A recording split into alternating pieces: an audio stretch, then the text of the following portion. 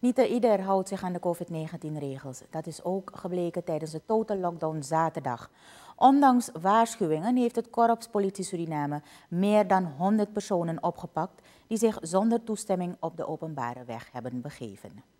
Als we gelet hebben op het straatbeeld, dan komen we tot de conclusie als uh, politie.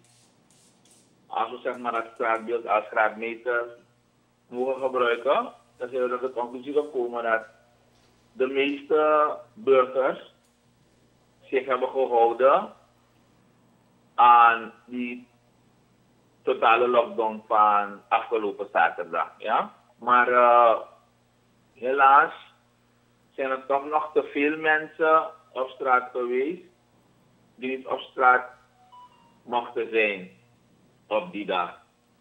Waarom ik dat zeg? We hebben op zaterdag 21 augustus 126 personen aangehouden.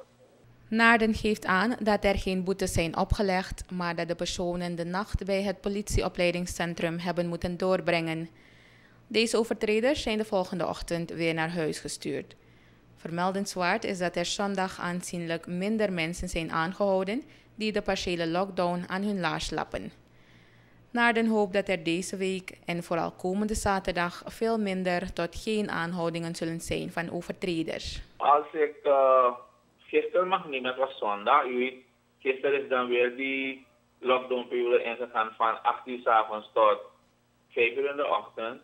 Als we dat afzetten tegen de dag daarvoor, dus die zaterdag van 21, dan moet ik zeggen dus dat uh, we een drastische, dat we veel minder mensen zeg maar, hebben aangehouden zondag uh, tijdens die partiële lockdown dan tijdens die volledige lockdown. Dus wat dat betreft schijnt het dus dat de mensen zich uh, beter gedragen hebben tijdens die partiële lockdown dan uh, tijdens die algehele lockdown. Maar wat ik zeg, laten we kijken wat aanstaande zaterdag zal ons zal leren in vergelijking dus met die andere dagen waarbij je dus een lockdown hebt van 8 uur s avonds tot en met 5 uur in.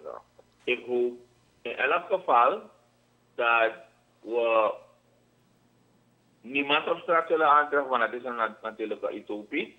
Maar ik hoop in elk geval dat we minder dan uh, die 126 aan mensen zullen moeten aanhouden. Uh, die we dus uh, zeg maar afgelopen zaterdag hebben moeten aanhouden. Dus ik hoop dat het drastisch zal verminderen. De partiële lockdown is nog dagelijks van kracht van 8 uur s avonds tot en met 5 uur in de ochtend de volgende dag. De volgende algehele lockdown vangt aan op vrijdag 28 augustus om 8 uur s avonds en duurt tot en met zondag 30 augustus om 5 uur s morgens. Aan de samenleving wordt andermaal gevraagd om zich te houden aan de COVID-19-regels.